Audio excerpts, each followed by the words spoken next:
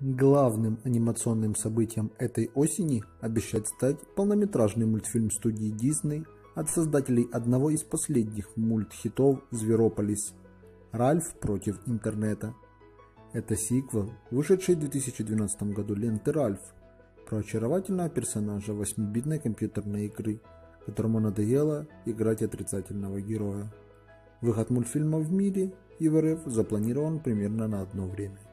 Российские зрители смогут увидеть новые приключения Ральфа 22 ноября 2018 года, а мировая премьера состоится всего на день раньше, 21 ноября 2018 года.